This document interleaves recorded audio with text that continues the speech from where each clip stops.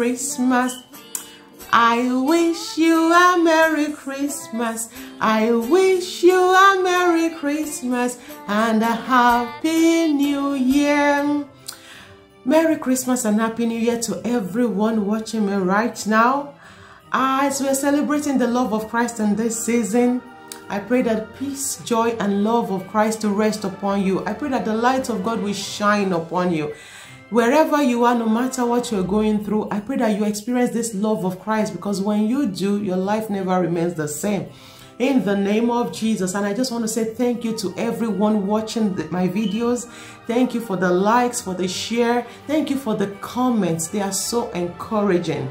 And I pray that God of heaven will bless you, will reward you, and will exceed all your expectations. I pray that in this season, God will put smiles on your face. I only started doing this to encourage people as led by the Spirit of God. We all have different assignments on this platform.